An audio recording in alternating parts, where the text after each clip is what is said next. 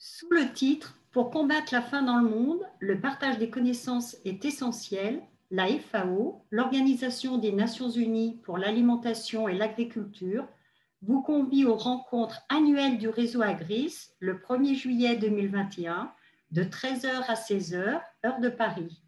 Ces rencontres d'une demi-journée vous permettront de découvrir comment la FAO et le réseau Agris qu'elle coordonne contribuent au partage des connaissances pour l'innovation agricole, la transformation durable des systèmes agroalimentaires et la sécurité alimentaire. Ces rencontres seront l'occasion pour vous d'apprendre comment rejoindre le réseau Agris et participer à ses réalisations.